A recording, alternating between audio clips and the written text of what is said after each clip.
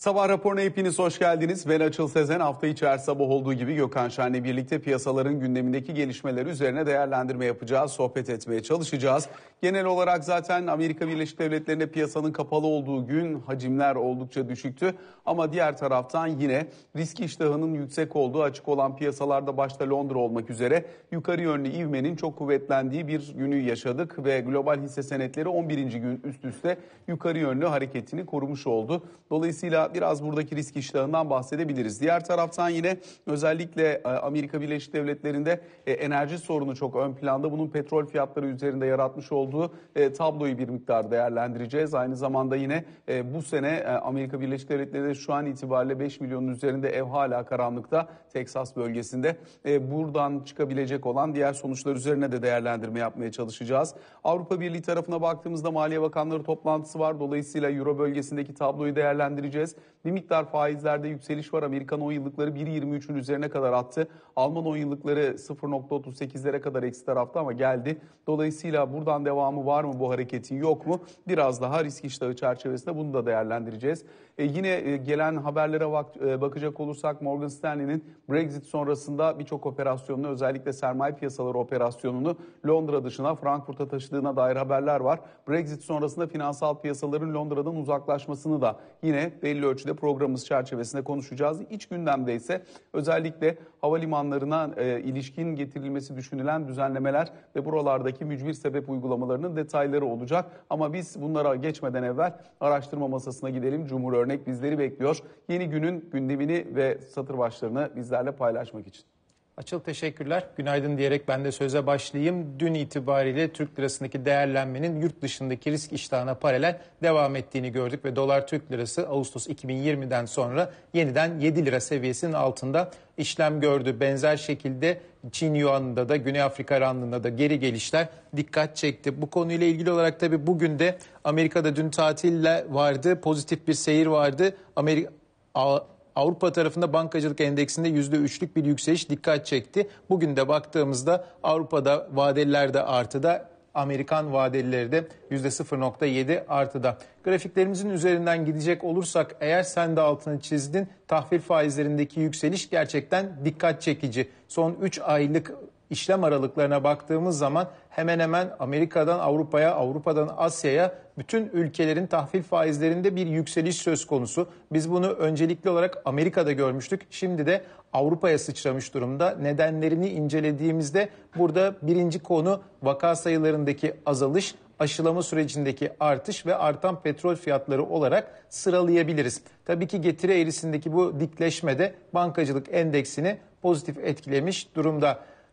Küresel hisse senetlerine baktığımız zaman pek çok metrikte bunu incelemeye, değerlendirmeye, geçmişle karşılaştırmaya devam ediyoruz. Bugün de terminalde yer alan haberde fiyat kazanç oranı üzerinden dönüp bak bakıldığında küres, MSCI küresel endeksteki 12 aylık önümüzdeki dönemdeki fiyat kazançlarının 2009 seviyesine geldiğini söyleyebiliriz. Bir eforya var, bir fiyat hareketi var ve buna ortak olmak isteyen pek çok katılımcı bu noktada riskli varlıkları seçiyor. Bunların başında hisse senetleri ve kripto dünya geliyor. Burada da Bitcoin'in 50 bin dolara yeniden çok çok yaklaştığını söylemek mümkün. Tabii ki Amerika'daki dün enerji kesintisi Texas petrol fiyatlarında yukarıya doğru bir yükselişe neden olmuştu. Sa sadece spot piyasada değil türev tarafta da bu konudaki etkinliğin arttığını gördük. Alım opsiyonları tarafında dün 90 doların üzerindeki e, alım opsiyonlarındaki spreadlerden bahsetmiştik. Bugün 100 dolar olan işlemlerin de geçtiğini görüyoruz. Tabii ki spot piyasanın buraya kadar gitmesine gerek yok ama bu hızlı ralliden anlaşılan o ki ya hedge ya da para kazanmak için türev tarafa adım atan pek çok yatırımcı var ve buradaki işlem hacminin de geçmiş dönemde karşılaştırdığımız zaman ciddi olarak arttığını görüyoruz. Türevle başlamışken Türk lirasıyla devam edelim. Geri burada da dolar Türk lirasının bir aylık oynaklıklar üzerinde alım ve satım arasındaki farkına baktığımız zaman artık yatırımcıların yavaş yavaş üst taraftaki o alım opsiyonlarını ödedikleri risk priminin azaldığını görüyoruz. 2018'de kurdaki çalkantı başlamadan önce de burada da çekirdek olarak değerlendirebileceğimiz seviye 2 idi. Yeniden o seviyeye doğru yavaş yavaş geliyoruz. Hem de PPK haftasında diyeyim ve sözü tekrar size bırakayım açın. Cumhur teşekkür ediyoruz sana aktardığım bu notlar için biz de başlıyoruz Gökhan Şen'le sohbetimize. Gökhan bu reflasyon trade üzerine konuşalım. Yani artık enflasyon geri dönüyor, masada çok fazla para var, işler normalleşiyor, aşı geliyor. Dolayısıyla bu iyimserlik üzerine gelen fiyatlamayı hemen hemen her koldan konuşuyoruz. Biraz daha da konuşmak lazım çünkü fiyatlamalar başka noktalara doğru taşınıyor şu an itibariyle bakınca. E, biz bak baktığımızda mesela Amerikan oyunluklarını 1.23'lerin üzerine kadar gelmiş görüyoruz. Bu bir. Diğer taraftan hisse senetlerinde arka arkaya 11. gün artıya doğru gidiş söz konusu. Diğer yandan yine getiri arayışı içerisinde olan piyasa oyuncularının sürekli olarak düşük getirili daha doğrusu e, yatırım yapılabilir seviyenin en altındakilere kadar giden yoğun ilgisiyle karşılaşıyoruz ki örneğin C ve altı nota sahip olan şirketlere dahi çok yoğun bir ilgi var. %4'ün altına kadar gelmiş oradaki faiz oranı. Bunların hepsi çok net bir şekilde risk iştahını ortaya koyuyor. İşte bir yandan bakıyorsun İngiltere'de 15 milyonu aştı aşılama sayısı diye dün FTSE %2,5 yükselebiliyor. Diğer taraftan yine dünyanın geri kalan kısmında gelişen ülkelere deyim yerindeyse nur yağıyor. Bizde de 7 liranın altına geldi Türk lirası. Ee, bu tabii şey yani işlem yapanlar için ya da portföy olanlar için e, tek hikaye aslında. E, dolayısıyla da e, etraflıca konuşmak lazım. E, biz de aslında çok uzun süreden bu yana zaten e, burada bu konuyu işledik. E, eğer ki dünyanın herhangi bir yerinde e, bir yatırımın ya da bir işte şeyin varsa, açtığın bir işlem varsa e, bunun tek sürükleyicisi aslında tüm dünyada olduğu gibi likidite. İşte bir de üstüne ara ara yani aşı tarafında ya da ne bileyim virüs güncellemesi tarafında yani yanlış anlaşılmasın ama iyi haberler diye piyasa bunu alıyor. Ee, iyi haberler geldiğinde çünkü sonuçta hala daha çok yüksek e, hastalık oranları var, vaka sayıları var. E, insanlar da hayatlarını kaybediyorlar. Fakat işin gidişatına göre e, olumlu olduğunu piyasa zaman zaman kabul edip bu aşılanmayla beraber birleştirip bu senin de reflasyon trade dediğin yani dünyada şeyler canlanacak, aktivite canlanacak. Ee, özellikle işte döngüsel olan e, hisse senetlerine gidelim. Ya da bu canlanmaya eşlik edebilecek neler olabilir? İşte örneğin e, gelişen ülke varlıkları olabilir. Bunların bonoları, kurları ve şeyleri hisse senetleri olabilir. E, ya da diğer yerlere gittiğinde ne bileyim işte birazcık bono satarsın, faizleri yükseltirsin. Ama senin dediğin gibi düşük faizli olanlara doğru e, bir kayış olur. Kabaca böyle tarif edilebilir. Bunun tabii detayları var. Mesela hisse senetleri tarafına baktığında çok ciddi bir artış var. Özellikle Asya son turda bunu sürüklüyor. Asya zaten hem hastalığın yani evre olarak daha erken gelip erken gittiği bir bölgeydi. Hem bu konuda çok ciddi başarılar gösterdiler. Ülke bazında da konuşulabilir ama e, genellikle haberler iyi. En son mesela Malezya'yı gördüm ben. Yani bundan birazcık daha farklı bir şey. E, popülasyonun %110 kadar e, aşıyı garanti altına almış. Yani kayıp kaçak olsa bile ya da birileri bir daha belki aşılanmak istese bile iki turdan fazla bir şekilde e, bunu da garanti altına almışlar. Mesela iyi bir haber olarak e, ajanslarda geçiyordu sabah. E, ikincisi tabii Avrupa hisseleri ve Amerika'nın buna eşlik etmesi. Yani bu Ocak ayı başındaki e, küçük sarsıntı geçti ve şu anda da e, piyasalarda bu likiditenin devam edeceği, işlerin iyi olacağı yönündeki bahisler aynen açık ve sorunsuz şekilde devam ediyorlar. Hisse bacağı böyle. E, bonoları sen zaten söyledin geçiyorum. Özellikle düşük faizli olanlara giriş devam ediyor. E, Amerika'daki faiz yükselişi belki e, konuşulması gerekir. Çünkü bir yılın en yüksek seviyesine geldi. Yani geçen Şubat sonundan bu yana biz bu seviyeleri görmemişiz. 1.22, 1.23'leri görmemişiz. Evet 1.25'e dayandı. Bu şimdi yani çok tabii senin de söylediğin gibi son 12 ayın en yüksek seviyesi. E, burada şeyi konuşmak gerekir bence. E, yani bu yükselen faizler e, özellikle Amerikan faizleri acaba dünyanın kalanını e, nasıl etkiler diye. Buradaki benim tahminim belli seviyelere varana kadar e, bunun aynen söylediğin gibi işte dünya canlanıyor. Amerika'daki özellikle geçmesi düşünülen ya da geçirilmeye çalışılan 1.9 trilyon dolarlık paketin de etkisi var. E, uzun vadeli faizler yukarı gittiğine göre demek ki likidite tuzağında değiliz. Para politikası çalışıyor, mali politikalarla da destekleniyor. E, yani ben bunu böyle yorumluyorum ama e, bu yorum tabii belli seviyelere kadar geçerli. Mesela şu ana kadar bono faizleriyle MSCI Dünya Endeksi arasındaki korelasyon yani hem bonolar değer kaybedecek, faizler yükselecek hem de aynı zamanda hisse senetleri yükselecek. Bu korelasyon beraber hareket etme ne kadar çalışıyor diye baktığında %80 geriye dönük 6 ayda. Demek ki faizlerdeki yükseliş 6 e, ay geriye döndüğünde hiçbir e, şey vermemiş, rahatsızlık vermemiş hisse senetlerine. Ben bunun böyle bir 1.40-1.50'lere kadar belki e, süreceğini e, düşünüyorum. Zaten şimdiden Amerikan 10 yılını bir buçuk yapmak da çok makul bana gelmiyor. Yani yıl sonu için düşünülen yerler. Yıl sonu için düşünülen yerler. O yüzden bu yılın en azından ilk yarısında faizlerdeki yükselişten ötürü e, piyasalarda dalgalanma olduğu çok makul görünmüyor. Bunun sağlamasını şöyle yapabiliriz. E, mesela euro dolara ya da doların çaprazlarına gittiğinde Amerikan dolarının dünyada satıldığını e, bunun da çok açık bir şekilde yani trilyonlarca dolarlık işlem her gün yapılıyor. E, dünyada bir canlanma var. Öyleyse getirisi düşük olanlardan çıkıp mesela dolar bunu bir fonlama para birimi gibi kullanıp carry trade'e e, geçelim. Yani getirisi daha yüksek olan varlıklara gidelim ya da doların karşısındaki diğer para birimlerine birazcık daha fırsat verelim diyerek de yatırımcılar bunu götürüyorlar. E, işin şey tarafı böyle. E, mesela emtiaya baktığımda bunu birazcık daha belki açabiliriz.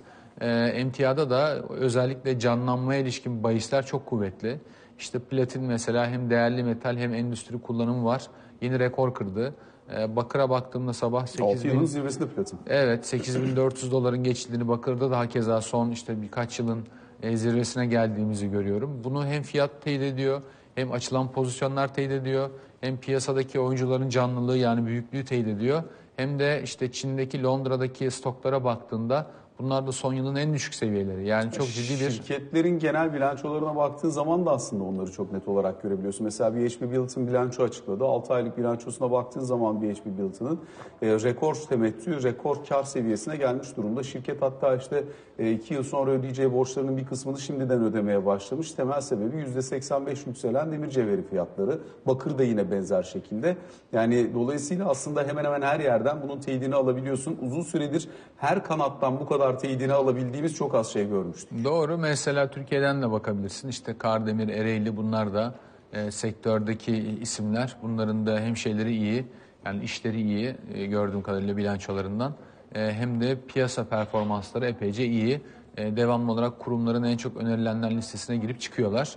E, yani demek ki ciddi bir canlılık var. İşte bu küresel çarpanlarda zenginleştiği için e, satılan malların da fiyatı devamlı yukarı gittiği için yani hem stok etkisinden hem yapılan işlerden e, işler epeyce iyi gidiyor. Burada Çin'in stok etkisi de var. E, dünyada yatırımlar düşük kaldığı için e, kapasitelerin zorlandığını dolayısıyla birçok şirketin e, ilk çeyrek e, sipariş hatlarının da dolu olduğunu hatırlatalım. Yani bu sektöre ilişkin e, söyledim. E, aynı zamanda mesela petrolde de çeşitli sebeplerle yine e, güçlenmeler var. İşte kim yerde soğuk hava vuruyor, kim yerde küresel canlanma, kim yerde kısıtlamalar devam ediyor derken ortaya karışık yani 63 dolarları bile mesela Brent petrol geçmiş durumda. Ee, başka nereden mesela bunu teyit ederiz? Mesela risk göstergelerine bakıyorum.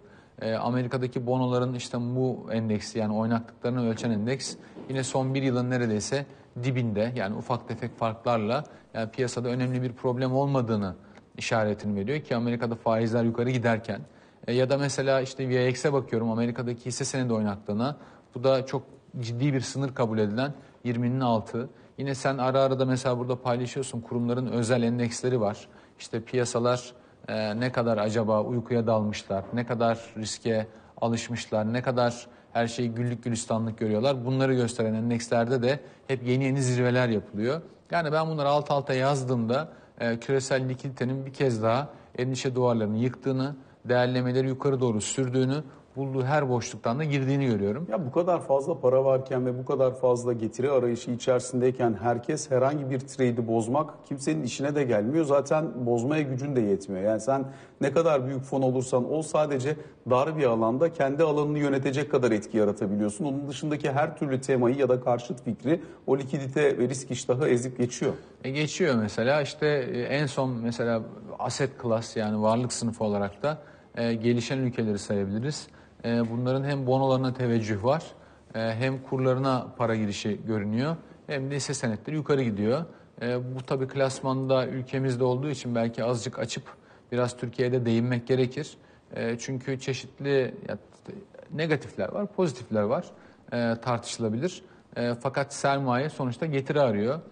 Türkiye'nin gecelik faizi, e, sunduğu faiz diğer gelişen piyasalar evreninde olmayan bir yerde. Dün mesela gelişen ülkelerde küçük bir tur atmıştık. Mesela hatırla, yanlış hatırlamıyorsam Endonezya, Rusya ve Meksika üstünden e, oradaki şeyleri konuşmuştuk. Enflasyon oranlarını ve faizleri. E, bunlar yok. Hatta Türkiye'de o kadar fazla yer almak istiyorlar. enflasyondaki artış hızının yavaşlayacağını yani enflasyonun düşeceğine dair de sıkı para politikası olduğu için o kadar çok bahse giriyorlar ki sabah mesela Bloomberg'de de vardı. Gelişen ülkelerde en az getiri ödeyen, e, reel getiri ödeyen 10 yıllıkta Türkiye yaklaşık eksi 2 puan kadar. Yani enflasyon eksi 10 yıllık yapmışlar. Tabii beklenen yaparsan da e, o kadar dramatik bir olay ki en fazla belki e, ödeyen de Türkiye olabilir. E, en son işte faiz indirimleri ve piyasalardaki yeni girişle e, hemen hemen her yerde minimum bir, bir buçuk puan kadar negatif reel getiri var e, gelişen ülkelerde. Fakat Türkiye'de işte e, buralara geldiğinde çok yüksek faiz olduğu için e, bunu taşımak bir eza vermiyor yatırımcılara. Yeter ki kur aşağı gitmesin, pardon yukarı gitmesin yani TL e, bozulmasın. O yüzden de içeriye akışlar devam ediyor. Tabii şimdi Türkiye'nin yani makro sınavlarından bugün bahsetmeyeceğim. O değil konu. E, fakat kısa vadeli belki düşüneceği işlerden bir tanesi gelen paranın ne kadarı hisse senedine bonoya gidiyor, ne kadarı tam sıcak para diye ifade ettiğimiz overnight'a geceliğe geliyor. Çünkü bu tip para geldiğinde hoş e, fakat giderken problem yaratabiliyor. Onu öyle denk getirmek lazım ki tabii gidecek gitmeyecek onu bilmiyoruz ama e, bir şekilde içeride işlerin de iyi gittiği, sadece dışarıdan gelen sermaye güvenmediğimiz bir ortamda e, onu yönetmek lazım. Ne demek istiyorum? Çünkü yani girerken para hiçbir problem yok. E, faizleri aşağı çekiyor, e, kuru aşağıya itiyor. Dolayısıyla bir, bir şey sağlıyor yani bir canlılık sağlıyor. E, fakat gittiği zaman tam tersi oluyor.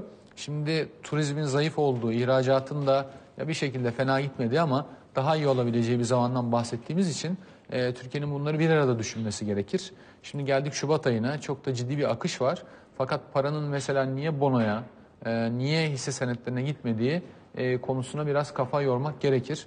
Özellikle hadi bonoda diyelim ki çok fazla aşağı itecek yer kalmadı. Zaten dediğim gibi yani en negatif reel faizi bizim 10 yıllıklar ödüyor. E, ama mesela hisse senetlerinde birazcık daha değerleme boşluğu olmalı. Mesela bankalar belki kendini daha iyi anlatmalı.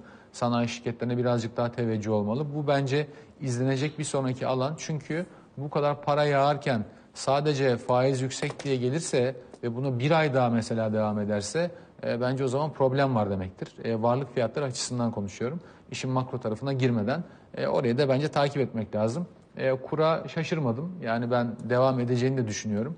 E, çünkü yani görüntü bu. Aylardır zaten bunu anlatmaya çalışıyorum. Bu faizle e, bu dünyanın bu ortamında e, bunun aşağı gitmemesi zor. Şimdi Türk mudiler düşünecek. Bunun bir bölümü e, zaten çözülmeyecekti. E, fakat çözülme ihtimali olan yani işte şey tabirle ne demokrat ne cumhuriyetçi varlıklarında o bir 10 puan var ya onların o hesabı yapmış olmaları gerekir. E, çünkü artık bu sarkaç iki tarafa değil tek yöne e, doğru şey iyice gitmeye başladı. E, ibre kaymaya başladı. E, gideceği yeri de kestirmek güç. Yani onu söylemek lazım. Mesela teknik şeylerden falan bahsediyorlar. Öyle bir şey yok. Yani 6.88'e değebilir diyor. Zaten orada. Yani sonra ne diyeceksin mesela? O yüzden de öyle bir şey yok. Girişler hızlanabilir.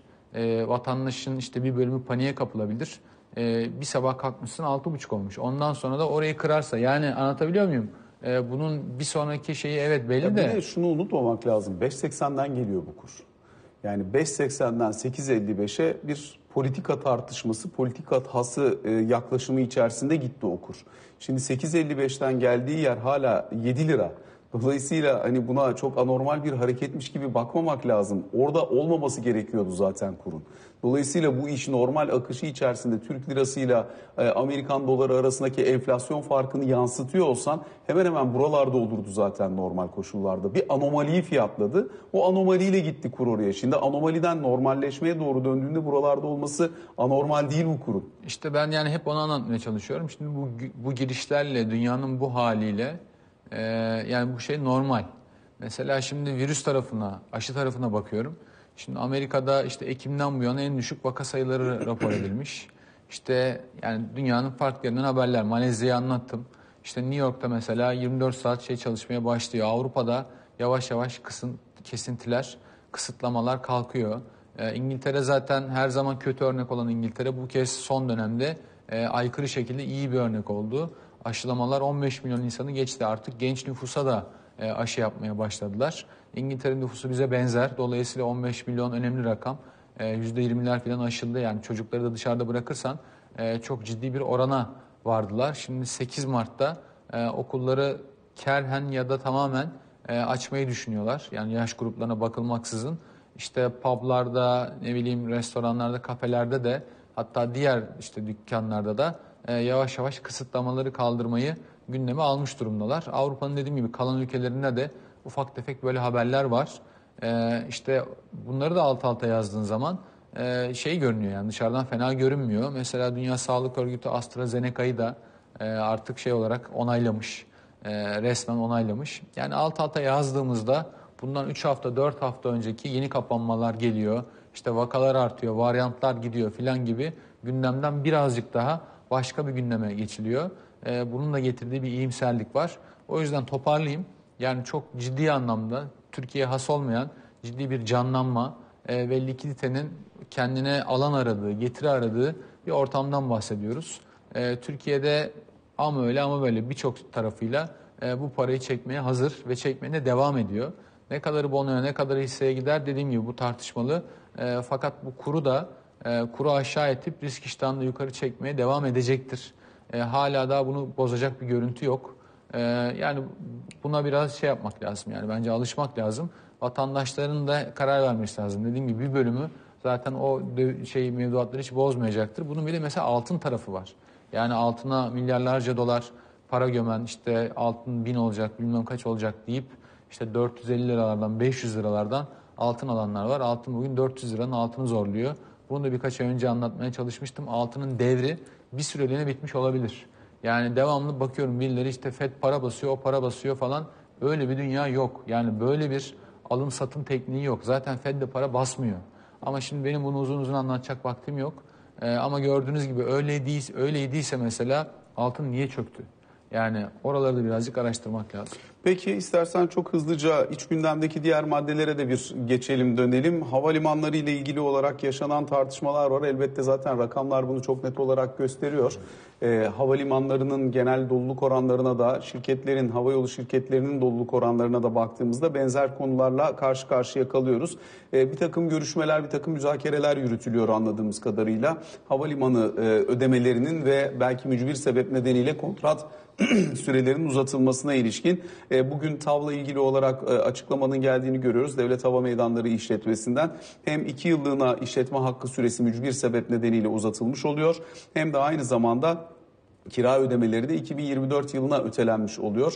Dolayısıyla bu bu taraf için böyle. Sabiha Gökçen Havalimanı içinse yine benzer şekilde Savunma Sanayi Başkanlığı'yla görüşmelerin devam ettiği ifade ediliyor. Burada da kira ödemesine dair.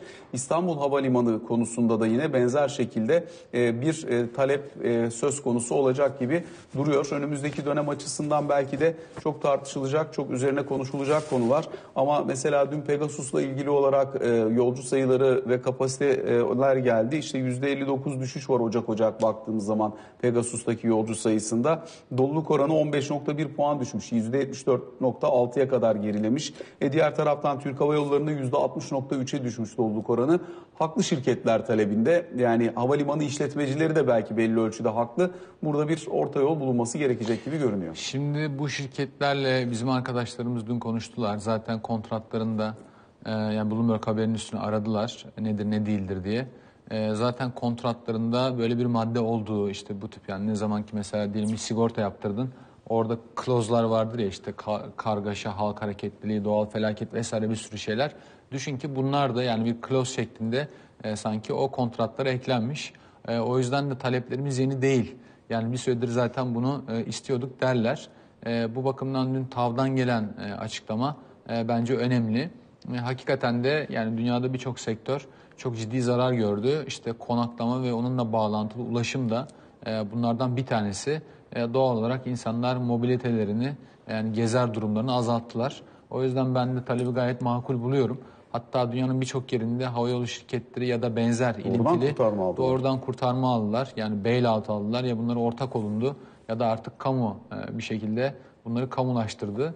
O yüzden yani geçici bir süre olduğunu düşünerek e, belli bir işte ne bileyim kredi ödeme, ödemesi ertelenmesi ya da kamuya olan borçların bir süreliğine dondurulması e, bence de bence tüm vatandaşlarca da makuldür. Sonuçta durum ortada. Yani kimsenin e, durumundan kaynaklanmayan bir şey var. Sadece İGA'yı tam teyit edemediler. Yani onların sözleşmesinde böyle bir madde var mı? Ya da buna başvuruldu mu ama tahmin ediyorum. Bir mahsuplaşma tartışılıyor ol- olabilir deniliyor orada da. Yani buradaki yolcu garantisiyle kira ödemesinin mahsuplaşılması en azından bir sene için gibi bir formül üzerinde konuşulduğu söyleniyor ama teyidi yok. E, tabii ya çok zorlu bir süreç. Yani bu insanların kendi e, tedarikçileriyle de ya da ortaklarıyla yaptıkları sözleşmeler de böyle. E, yani diyelim sen işte bir araba kiralama firmasısın ya da orada başka bir e, dükkansın. Senin de mesela oraya karşı yükümlülüklerin var. Oralarda da e, zannediyorum ki bu kontratlar esnetiliyor ya da fiyatlar düşürülüyor filan. E, o yüzden ben makul karşıladım açıkçası. E, tahmin ediyorum iş dünyası da böyle karşılamıştır. İki tane daha haber var üzerinden konuşabileceğimiz hızlıca. Aslında belki bir miktar Türkiye'yi de etkileyebilir önümüzdeki dönemde. E, biraz onun üzerinden de konuşalım. Suudi e, Arabistan kaynaklı haberler var. Bu haberler diyor ki Suudi Arabistan'a merkezini taşımayan, bölge merkezini Suudi Arabistan'a taşımayan şirketler bundan sonra Suudi Arabistan'da kamuyla iş yapamayacaklar.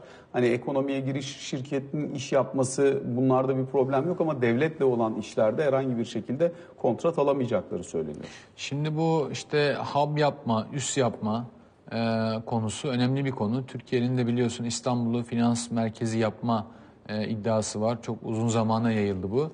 Şimdi Suudi Arabistan haberi aslında Körfez ülkeleri için daha önemli. Yani bunlar işte Katar, Umman, Kuveyt, Bahreyn ve Birleşik Arap Emirlikleri özellikle. Çünkü bu isteğiyle e, Suudların Dubai'nin e, iş yapma merkezi pozisyonunu e, tehdit ettiği kanaatindeler. E, onlara sorulduğunda ya hiç böyle bir şey yok. Biz aslında bizzat e, şirketleri tırnak içerisinde tehdit ediyoruz demiyorlar da challenge ediyoruz. Onlara meydan okuyoruz e, derler. Tabii bu işler karışık. Yani e, zaten orada işte şeyi olan, e, üssü olan e, şirketler mesela oraya regional hub yani işte bölgesel üs yaptık deyip aynı anda hem Dubai'den hem de oradan işte eş başkanlık gibi işlerini yürütebilirler. Tabii kamuyla olduğu için yani özel sektörü kapsamıyor falan gibi görünüyor ama biliyorsun Suudi Arabistan'da aslında hemen hemen bütün işler kamuyla. Yani inşaat, müteahhitlik faaliyeti aldın mı e, hak edişlerin kamudan ya da başka bir iş yaptın mı iş kamudan. Çünkü bütün dönüşümü orada kamu sürdürüyor. E, keza bütün e, gelir diyebileceğimiz petrol geliri ya da enerji geliri kamuya akıyor. Yani o yüzden de yani tuzaklı o özel sektörü kapsamıyor demeleri bence zaten e, işi söylüyor. Fakat bu işte merkez olma işi hakikaten eskisi kadar albenili bir şey midir? Bence ilk tartışılması gereken konsept o. Yani büyük merkez, büyük havalimanı olma eskiden belki çok daha ciddi şeyler sağlıyordu. Ekonomik başarı, ölçek sağlıyordu. Şimdi özellikle pandeminin vurması, çeşitli teknolojilerin gelişmesiyle beraber e, işte finansta da dağıtık yapı konuşuluyor. E, işte ofislerde de yatay ofis konuşuluyor. Yani call center'lar bile artık yani arama merkezindense buyurun arayın ama merkez yok e, gibi bir dönüşüme gidiyor. O yüzden bu hub meselesi bence tartışmalı bir konu. E, bir de Zaten bir şey mesela o büyük olalım. hub dediğin, finansal merkez dediğin yerlerden Londra'da da mesela Brexit sonrasında tablonun nasıl değiştiğini çok net olarak görüyorsun. Örneğin İngiltere'de işte bugün en son Morgan Stanley'den gelen bir tane haber vardı. Diyor ki Morgan Stanley biz e, sermaye piyasaları bölümümüzün başkanını Frankfurt'a atadık. Dolayısıyla önümüzdeki dönemde oradaki bir iştirak üzerinden gerçekleşecek. Zaten Brexit çerçevesinde hizmetlerle ilgili sözleşme şu an tam olarak ortaya konulamadığı anlaşma gerçekleştirilemediği için şu an sen bir Avrupalıya Londra merkezli kurumun üzerinden hisse satmak istediğinde bunu ancak Avrupa ofisin üzerinden satmak durumunda kalabiliyorsun. Hem zaman kaybı oluyor hem kaynak kaybı oluyor. Dolayısıyla Goldman Sachs'ta, e, Morgan Stanley'de, JP Morgan'da aynı yolda ilerlemeye devam ediyorlar. Brexit anlaşmasından bu yana 1.2 trilyon euroluk varlığı kıta Avrupa'sına kaydırdılar Londra'dan. Bunlar önemli gelişmeler, önemli değişimler. Şimdi bu Brexit tartışması olduğunda zaten ilk çıktığında bu finansal hizmetler konusu e, çok önemliydi İngilizler ana için. Ana konu buydu yani. Ya, ana konu buydu çünkü İngiltere ekonomisi bir hizmet ekonomisi. Yani hemen hemen her gelişmiş kapitalist ekonominin olduğu gibi e, bunun da önemli bölümü finansal hizmetlerden kaynaklanıyor. Bu finansal hizmetler tabii e, yani daha önce hiç sorgulanmamıştı ama Birincisi şirketlerin e, kıtalar arasındaki ya da dünyadaki ne kadar pasaportsuz gezebilmesine bağlı. Yani sen bütün Avrupa kıtasına bir İngiliz bankası olarak pasaportsuz çıkabiliyorsan, herhangi bir ekstra maliyet ödemeden e, işlemlere erişim sağlıyorsan, e, o zaman bu tabii bir şeydi, artıydı. İkincisi e, sermaye piyasaları bacağında hem execution yani işlerin yapılması, emir verilmesi, alınması, uygulanması hem de saklanması tarafı e, çok önemli servisler. E, ve gücü yine elinde bulundurmana e, sebebiyet veriyor. Ardından da gelen bütün türev işlemlere sen kaynaklık yapabiliyorsun. Çünkü dayanak varlık sende olduğu için yani mal sende olduğu için eski tabirle üstüne bir şey yazılacaksa o zaman bütün işler de senin üstünden dönüyordu. Şimdi zaten işte Paris'tir, Frankfurt'tur filan e, bunların bir kısmını çalacağı belliydi. Madrid'e. Milano'ya bile gitmiş. Oralara da gidiyorlar haklısın. E, o yüzden başa gelen çekilir durumu var. E, bunların devamı da gelecektir. Hem istihdam kaybı hem de hizmet üstünden iş kaybı aslında bunlar. Yani. Peki gidelim kısa bir araya sonrasında Can Türkoğlu da bizlerle birlikte olacak kaldığımız yerden devam edeceğiz.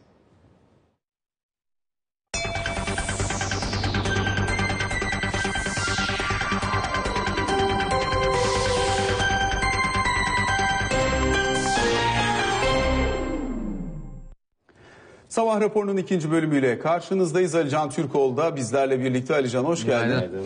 Şimdi e, özellikle Amerika Birleşik Devletleri ile Türkiye arasındaki tartışmalarla bir başlayalım istersen. Özellikle 13 şehidimiz, o şehitlerle ilgili olarak yaşanan mesaj trafiği. Dün Cumhurbaşkanı Erdoğan'ın açıklamaları vardı Rize'de.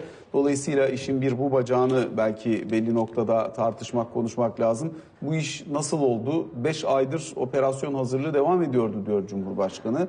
E, sonuç itibariyle başarılı olunamadığını anlıyoruz buradaki operasyonda. Bu- Bugün daha detaylı bilgi edinebileceğiz bu konuyla ilgili olarak. Çünkü Türkiye Büyük Millet Meclisi'nde İçişleri Bakanı ve Milli Savunma Bakanı'nın bilgilendirmesi olacak. Dolayısıyla operasyonla ilgili detaylar verilmez muhtemelen ama e, bu sürecin ne zaman başladığını, istihbari bilginin ne zaman geldiğini, ne planlandığına ilişkin muhtemelen daha detaylı bilgiler duyacağız. E, ama gözüken o ki e, bu süreç sonrasında ilk sorunla alakalı söylüyorum. Amerika Birleşik Devletleri ile bu sıkıntılı süreç bir süre daha devam edecek. Şimdi ilk şok atlatılmış gibi gözüküyor. Çünkü Amerika'nın ilk taziye mesajında şöyle bir cümle vardı. Yani e, Türk vatandaşlarının terör örgütü PKK'nın elinde öldüğü doğruysa diye bir ifade kullanmıştı Amerika. E, bu e, ayrıntıya çok aslında tepki gösterildi Türkiye'den de her açıdan.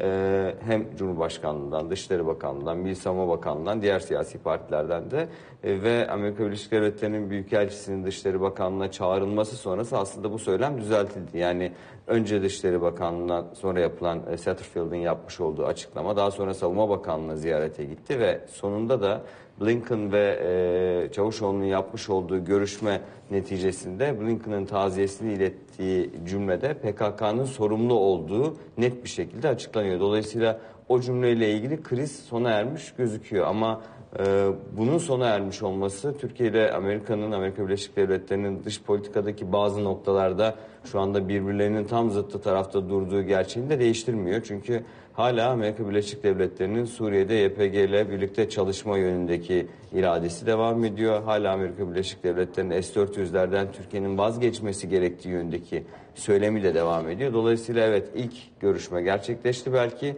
Ee, ancak bu görüşmenin gerçekleşmiş olması Türkiye ile Amerika arasındaki sorunların tamamının çözüldüğü anlamına da gelmiyor. Bu konuyla ilgili olarak biz önümüzdeki günlerde de birçok temasa e, tanıklık edeceğiz gibi gözüküyor. Tabii buradaki öncelik acaba Biden-Erdoğan görüşmesi ne zaman olacak? Bu konuyla ilgili halen bir soru işareti var. Belli değil. NATO zirvesi sırasında bir görüşme olup olmayacağına ilişkin de henüz bir netleşme yok. Ama bu görüşme sonrasında belki biraz daha soru işaretleri kaybolabilir.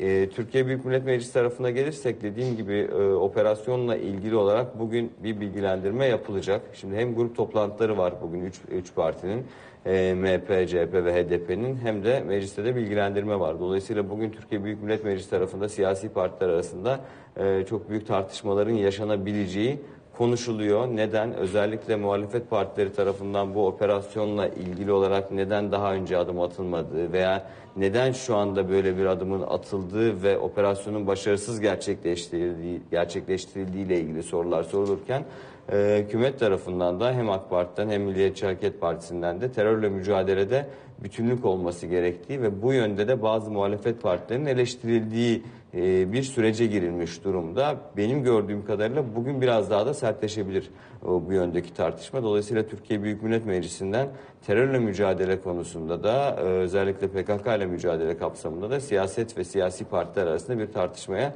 tanıklık edeceğiz gibi gözüküyor. Bu iki başlıkla ilgili durum bu gibi. Peki bir de yerinde tespit tartışmaları var virüsle ilgili olarak. Dolayısıyla il bazında bundan sonra önlemler alınabilecek diye dün Sağlık Bakanı'nın açıklamış olduğu harita üzerinden yaptığı, e, kullandığı ifadeler de var. Nasıl olacak buradan sonrası? Ee, şimdi sadece il bazında da değil, ilçe bazında bile farklı kararlar alınabileceği ifade ediliyor. Yani il, il hıfzı sığa kurulları veya ilçede yapılan e, tetkikler neticesinde farklı bir karar alınması gerekiyorsa o bölgeyle ilgili olarak, il, ilçe veya bölgeyle ilgili olarak bunlar artık e, yerel bir şekilde alınacağı söyleniyor. Yani herhangi bir ildeki vaka artışının çok yoğun bir şekilde artması nedeniyle diğer iller eğer düşüşteyse diğer illerin etkilenmeyeceği bir sistemin getirilmesi hedefleniyor. Şimdi bugün bilim kurulu toplantısı gerçekleştirilecek saat 17'de yanlış bilmiyorsam. E, bu toplantı sonrasında da bir yazıda açıklama yapılacak. Ama şu anda vaka sayısı yine 8 bin civarına dayanmış durumda bilindiği gibi. Dolayısıyla e, her şey çok güzel gidiyor, çok iyi gidiyor ve bir anda e, her taraf açılacak gibi bir e, izlenim yok. Öyle bir kanıya kapılınması da, kapılınmaması da e, gerekiyor. Ama bir takım e, farklı kısıtlayıcı önlemlerde e, düzelmeler gerçekleştirilebilir. Mesela işte İstanbul'da toplu taşıma ile ilgili dün alınan karar gibi. Yani e, 20 yaş altı ve 65 yaş üstünün kullanması yasaktı. Bu 20 yaş 12 yaşa indirildi. Dolayısıyla işte okulların e, bazı sınıfların 1 Mart tarihi itibariyle açılacak olması gibi e, kararlar neticesinde bir takım kısıtlamalarda hafiflemeler var. Ama zannedilmesin ki bir anda her taraf açılacak. Dediğim gibi bugün bilim kurulu toplantısı, yarın kabine toplantısı var. Bir takım farklı alternatifler üzerinde görüşmeler devam ediyor. Özellikle son dönemde çok fazla bu şikayetlerini dile getiren ve Cumhurbaşkanı ile de görüşme e, gerçekleştiren esnafa ilişkin olarak, restoranlara ilişkin olarak ama bugünden kesin olarak yarın kabine toplantısından bu sektörlerle ilgili olarak bir e, hafifleme e, kararı alınacaktır demek için erken. Teşekkür ediyoruz arkadaşlar. Sabah raporunu böylelikle tamamlıyoruz. Kısa bir ara sonra yatırım bülteniyle Gizem Uzuner sizlerle birlikte olacak. Hoşçakalın.